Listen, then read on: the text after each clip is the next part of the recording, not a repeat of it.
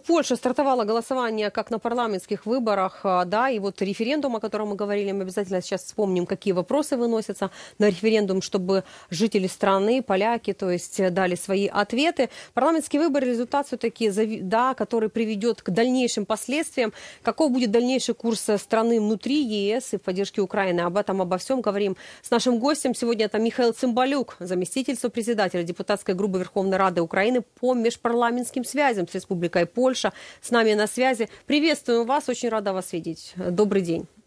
Навзаем. Бажаю всем здоровья. Да, здравствуйте, всем желаю здоровья. Я напомню нашим зрителям, избирательные участки в Польше открылись сегодня в 8 часа, часов утра по киевскому времени. Будут работать также по киевскому времени до 22.00. То есть на протяжении всего дня в наших эфирах вы увидите определенный анализ происходящего в Польше, как будут проходить сами выборы. Ну и о прогнозах также будем э, говорить. Также добавлю, выбирают 460 депутатов, 100 сенаторов на четырехлетний срок. Вот давайте тогда об этом все-таки хочется поговорить. Но Первый вопрос, Михаил Михайлович. Хочу все-таки, Михайлович, хочу вас спросить, как отразятся выборы для самой Польши? Потому что, как вы считаете, исходя из того анализа, который можно сегодня понаблюдать, для себя все-таки прокомментировать, что сегодня выберут поляки? Да? Вот многие называют, что это выборы стабильности против перезагрузки. В этом контексте вспоминают да, правящих консерваторов из э, партии «Право и справедливость», которые претендуют все-таки уже на такой исторический третий срок у власти, которые все-таки ну, предлагают определенные определенного вида стабильность. И есть у нас либерально-гражданское количество, э, коалиция, прошу прощения, которая предлагает обществу перезагрузку. Как вы считаете, в данном контексте все-таки что выберут сегодня э, поляки? Они выберут стабильность, либо же определенного характера перезагрузку для своей же страны? Спасибо вам за этот вопрос. Что бы ни выбрали поляки, для Украины важно, чтобы как можно быстрее была создана новая коалиция, которая начнет работать. Потому что для Украины, как для государства, важно то, что кто бы не пришел к власти в Польше и не создал бы коалицию, то есть большинство, нас будет объединять только одно — общий враг, так как и украинцы, и поляки прекрасно понимают, наибольшие вызовы — это Российская Федерация. Из-за этого однозначно важно, важно, чтобы как можно быстрее произошло перезагрузка власти после выборов уже. И тогда украинская власть, я уверен в этом, будет выстраивать новые отношения уже на базе тех отношений, которые были, которые формировались и особенно во время 24 февраля 2022 года ну и до того, до 24 февраля 2022 года. Из-за этого важно, чтобы наступила стабильность в Польше, так как предвыборный этап Польши характеризовался очень разными заявлениями, но, но украинцы как нация и поляки как нация уже имеют современную общую историю, которая нас объединяет, и в том числе имеют борьбу за выживание наших государств а Польша сегодня представляет европейское общество, Европейскую унию, которой и уверенно идет Украина. И мы очень ценим позицию Польши в отношении Украины. Но сегодня миллионы украинцев официально работают, живут в Польше, и они в том числе поднимают экономику этого государства. И это говорит о том, что в будущем мы обязаны, мы должны будем выстраивать такую политику, которая, чтобы не тратить время на то, что нас разъединяет. Да, я, Михаил Михайлович, благодарна вам, что в данном контексте действительно вы все-таки экстраполировали то, что происходит в Польше, на дальнейшее развитие отношений Украины и Польши, потому что действительно нам в контексте продолжительной агрессивной войны со стороны Российской Федерации важно здесь сохранить понимание европейского сообщества и в данном, а, в данном вопросе как раз а, Польши, а, того, что и кто сегодня является агрессором, кто продолжает агрессивные военные действия Российская Федерация. Поэтому наше задание, да, следить сегодня, анализ определенный также мы можем проводить. Я, я понимаю, и я думаю, вы меня тут э, поддержите, что все-таки есть ряд определенных заявлений, которые тоже связаны где-то с Украиной. Они во время предвыборной кампании были направлены не против Украины, а были направлены для того, чтобы завоевать все-таки определенные симпатии ну, да, ряда там представителей электорального поля. Да? Давайте так говорить. Точно так же, например, если мы говорим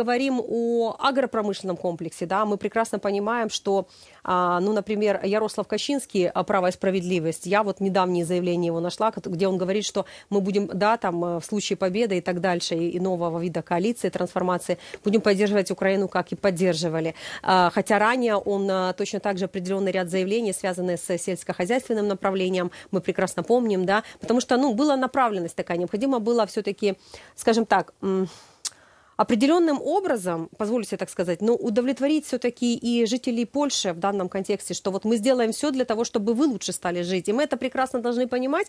И должны понимать, что выборные процессы сейчас происходят э, во многих европейских странах, во многих э, э, странах, которые на сегодняшний день являются союзниками, поддерживают Украину. И все-таки эгоцентричные действия, связанные с развитием той или иной страны, мы тоже должны их ну, все-таки понимать. Мы должны понимать, что каждая страна сегодня, а политики остаются политиками, партнерами, они должны все-таки в данном контексте выступать на стороне своих стран. Поэтому я спасибо, что вы сказали, как далее может развиваться э, ситуация и картина в э, целом. Хочу еще тогда в продолжение нашего с вами э, общения да, поговорить, обсудить. Мы вот озвучивали дату 17 числа, да, будут известны определенные результаты, хотя я думаю, что и сегодня определенные цифры мы тоже услышим. И вот будет фактически, скажем так, где-то сутки такого молчания молчание, возможно, да. А далее уже это будет не будет молчание, это будет анализ, это будет анализ над ошибками, это для поляков и для Польши. Но вот э, как вы считаете, как после выборов сформируется коалиция, да, пройдут определенные процедурные процессы. Вот как далее могут развиваться украино-польские отношения, независимо от того, как сформируется коалиция? Спасибо, Лейла, за вопросы, за ваш анализ. На самом деле для Украины очень важны отношения с ближайшими соседами по Европейскому Союзу, это Польши. Мы на самом деле ценим и помним, как власть Польши, как господин Ярослав Качинский и весь польский народ отозвался и поддержал украинцев после 24 февраля. На самом деле эта страница войдет в историю двусторонних отношений. Страница одна из самых ярких в, в отношении поддержки настоящих братских народов. Но когда идет э, речь об отстаивании собственных интересов, национальных интересов, то Ярослав Качинский и Дональд Туск, они отстаивают интересы собственного народа.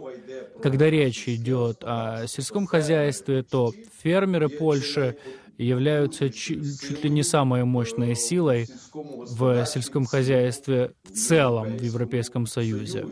И мы знаем их позитивные примеры, на которых учатся в том числе и украинские фермеры. Но мы как государство, мы как Украина должны в том числе беспокоиться о национальных интересах Украины. И когда речь идет об этом недоразумении, я не считаю это каким-то большим конфликтом, то тут нужно, как для меня, тут нужно сделать итоги определенные, подвести для обоих сторон, так как транзит зерна в том числе происходит благодаря польской стороне. Если зерно или другая сельхозпродукция не проходила транзитом, а продавалась либо реализовывалась на территории Польши, то этого не происходило без представителей польской стороны. Я не говорю официальной власти, но, к примеру, бизнесовых структур. Я уверен, что после формирования коалиции, ну, либо большинства, украинская сторона будет инициировать встречи на уровне уже руководителей министерств, сельского хозяйства, в том числе руководителей правительства, и будет говорить о том, как решать в практической, практической плоскости вопросы интересов. Естественно, каждое своих будет государств решать вопросы, но с уважением относясь к партнерам. Очень важно, я еще раз подчеркиваю, чтобы из этого недоразумения не выиграла третья сторона, которая, к сожалению, смотрит не пассивно, а довольно активно и делает свои определенные вбросы для того, чтобы выиграть время от нашей такой ссоры. И однозначно мы понимаем, что работает не только работает среди польского политикума, но и наш враг работает и в том числе среди европейского политикума.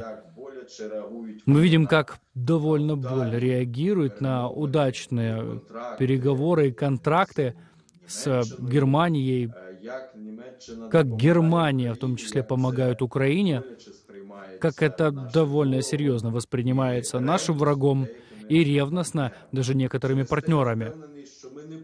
Из-за этого я уверен, что мы не будем тратить время. Мы в украинском парламенте ожидаем, в особенности в нашей группе межпарламентской Украина-Польша, спасибо, что об этом вспомнили, мы ожидаем выборов в Сейм новых, новых депутатов, будем возобновлять взаимоотношения с теми, кто попадет из предыдущего состава, будем искать новые связи и контакты с новыми депутатами для того, чтобы на межпарламентском уровне, кстати, на котором у нас есть очень хорошая професси... профессиональная работа, мы задавали тон исполнительной власти, чтобы не тратить такого драгоценного времени. Я еще раз подчеркиваю, я уверен, что два государства, которые демонстрировали и продолжают демонстрировать во время широкомасштабной войны России против Украины, продемонстрировали профессиональность, профессиональ...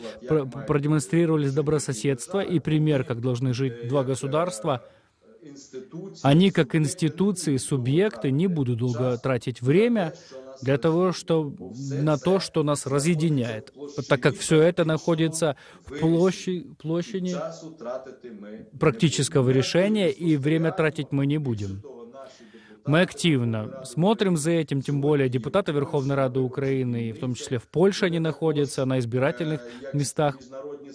Они там как э, международные представители, и с другой стороны, они для себя, для себя как для государства принимают тот опыт, так как проводятся, верно было сказано вами, и выборы одновременно с референдумом. Для Украины это актуально после военный период, так как Польша показывает пример, как на самом деле важные государственные вопросы в отношении миграции, в отношении продажи иностранцам и другие другие вещи, это все проходит на референдуме. Это, как говорят, европейское правило, которым следует и наше государство. Спасибо вам огромное, Михаил Михайлович, за участие в нашем эфире. Всегда вам рады в эфире информационного марафона на телеканале «Фридом». Михаил Цымбалюк, заместитель сопредседателя депутатской группы Верховной Рады Украины по межпарламентским связям с Республикой Польша, был с нами на связи. Оперативные новости, эксклюзивные видео с линии фронта. Глубокие аналитические обзоры и только самые авторитетные спикеры. Подписывайтесь на YouTube-канал Freedom, чтобы не пропускать главного.